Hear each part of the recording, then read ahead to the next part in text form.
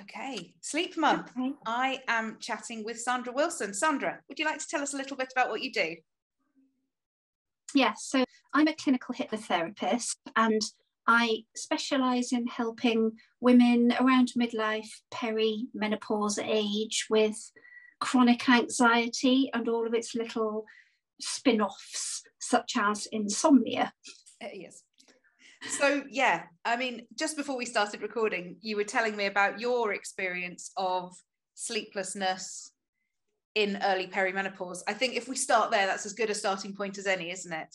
Yes, yeah. So, yeah, as I was saying, I basically went from a sleepless menopausal wreck whose life felt it was totally over to sleeping like a baby most nights without any pills or potions. And I have tried most of them, if not all of them. And I haven't really used any sleep medication, really. I mean, occasionally I might do if I'm going camping or something, but very, very rarely. So what was what was happening when you weren't sleeping and what changed? Well, I think the main problem that I had personally was that I wasn't really in the headspace to accept what was happening to me. I didn't understand what was happening to me. I just kind of went from sleeping quite normally, quite happily, to just having a lot of disruption in my sleep. So, of course, because I didn't understand it, I started to worry about it. So, the next thing I know, I've just developed this full blown case of sleep anxiety and just to be really clear, it's the kind of anxiety that you feel about not sleeping, and it can really build up like a snowball. I mean, I still do believe that even though insomnia can be complex, most cases probably are more manageable and even you know it's even possible to overcome most cases if you can try not to worry about not sleeping and that I think, is, I think that's so true. And I think anybody who's gone through a bout of not sleeping, and I'm not talking full blown insomnia here, where we're getting into, you know, um, sort of sleep studies and things like that with, with, you know, full on doctors and stuff, but it becomes self perpetuating. Yeah. Because you go to bed thinking, oh, I'm not going to sleep again tonight, am I? Or I must sleep. Tonight I yeah. must sleep.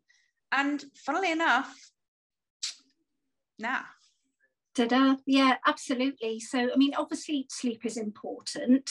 Um, there are a lot of vested interests, I think, um, on the part of you know big pharmaceutical companies who try to convince us that we must get eight hours a night or else. And I think the problem I had I've become ill, I should be getting this sleep. I felt entitled to be getting this sleep mm-hmm. and desperately frustrated because it just wasn't happening. So, what happened was, Emily, I tried hard to sleep. I tried everything, but the more I tried, the further sleep evaded me. And I think this is where the paradox lies. The more you try to sleep, the less likely you are to drift off. And it's a little bit like, you know, sleep is like a wild animal. It hates being stalked. Yeah, it does. And and I'm go- I'm just going to quickly run with that. But actually, having having I'm off on a tangent. I apologize. We'll be back in a sec. But I, I did some um, animal communication stuff many years ago. And one of the really key things with that is that you get completely calm, completely present, you don't have any racing mind or anything. And so your wild animal analogy absolutely sits with that. Yeah yeah. It is so true. And you know in my practice i actually teach my clients that come to see me for insomnia sleep issues to follow a process that will eventually help them to drift off. And it all starts with doing the complete opposite of what you normally do Okay, and it sounds totally counterintuitive, but really you just got to stop trying to go to sleep. yeah. You know, it I does feel counterintuitive, but, yeah. But absolutely. Uh, you know, yeah. it, it's it's you know if that thing's not happening that not that's not working yeah. you've got to try something different haven't you yeah i think the thing is the brain is just peppered with weird paradoxes so i mean insomnia is a paradox so the more you chase it the more you try to achieve it the less the further away it gets you know i mean i tend to draw my clients a bit of a weird diagram that's quite complicated and i couldn't remember it now but is the, the further you run toward a certain point, the mirror Im image of that um, reflection is simply running away. So the more you chase it, the further away it gets. You yeah. know, that, that's how, you know, that's the paradoxical um, sort of big feature of insomnia.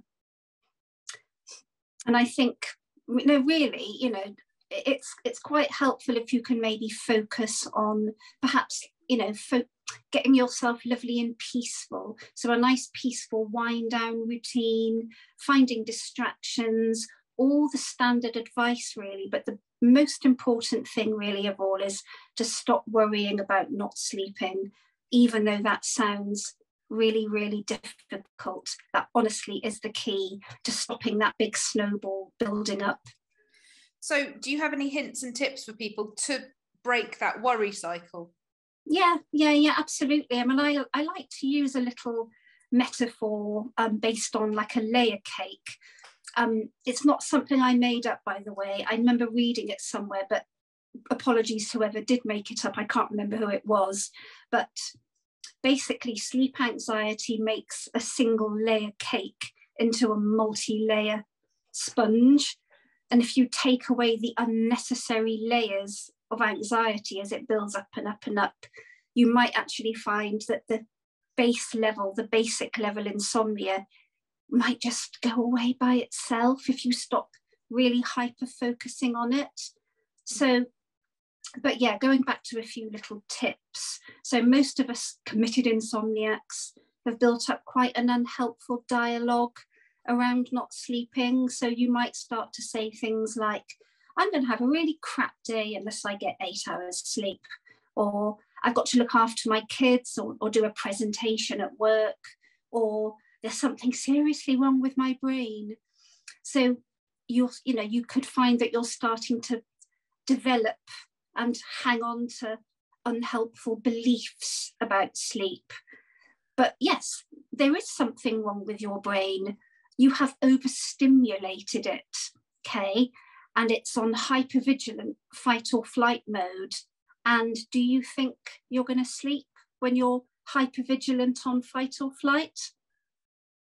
No. And and to be honest, you only have to look at to, to talk, you know, to look at the sort of overstimulated, overvigilant thing, you only have to look at a toddler that you know is exhausted and they go the opposite extreme, don't they? Exactly, exactly as we're all, as hard as it sounds, um, I'm going to give you just a few a little outline of the process that I use. So it's relax, accept, embrace, and adapt. So relax before bed in whatever way, shape, or form that feels right for you, whether that's reading or having a bath or just meditating or whatever works. I'm never prescriptive about telling people how to relax. And then accept so if you're not asleep within 20 minutes, just accept the fact that you're not asleep, okay? And then embrace it. And that could mean just lying there thinking, oh, this is lovely and cozy. I know I'm not asleep, but I'm quite happy being awake because I know I'm resting. Or you might want to get up and polish all your teaspoons, which is what I actually did once and then adapt. So that simply means, okay, I'm not asleep, but I'm nice and relaxed, I'm embracing it or being distracted. And tomorrow I am just going to adapt, whether that means asking my boss if I can finish a little bit early, you know, have a lovely treat, go for a little walk, and just adapt the day to fit, you know, how you're feeling without you know making all these anxious predictions about how crap it's going to be because you didn't get your eight hours. Okay? So the biggest lesson is you will be absolutely fine if you can just stop worrying about not sleeping. Excellent. And what was d from the we went what was oh no that was so relax embrace accept, yep. and adapt. Sorry, I thought there was a D at the end. That's my bad. I, mis- I misheard you at the start. Sorry, it's relax, accept, embrace, and adapt. adapt. Yes. Yeah. Cool.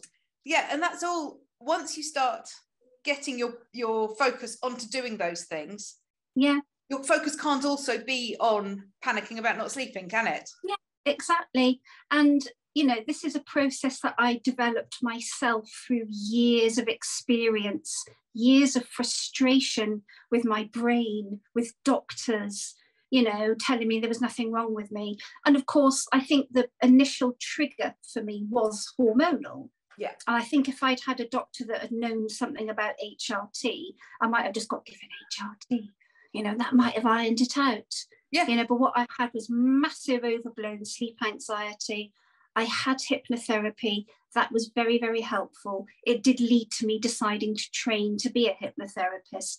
But then on the back of the hypnotherapy, I kind of developed some little tools and techniques around this relax, accept, embrace, adapt model.